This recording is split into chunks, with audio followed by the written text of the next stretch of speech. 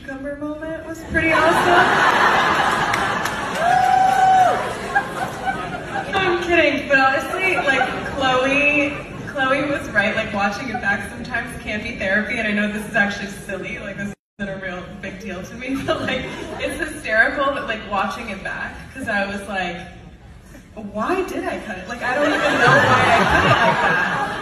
And then I, I literally was talking to Jess, and I was like, can you help me? Like, can you teach me? Like, what did I do wrong? How can I do better? Like I really took it seriously, and but I think it's hysterical and. I love it, honestly. It's because it couldn't be more me. Like I am like a noodle that does weird things.